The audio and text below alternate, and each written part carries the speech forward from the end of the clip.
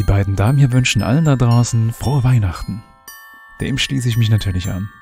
Habt schöne Weihnachtsfeiertage und hoffentlich könnt ihr euch an dem erfreuen, was ihr habt. Das, was ihr habt, ist hoffentlich viel und das ganz egal in welcher Art und Weise.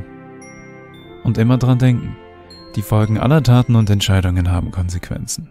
Wähle weise oder wahlweise mit Bedacht.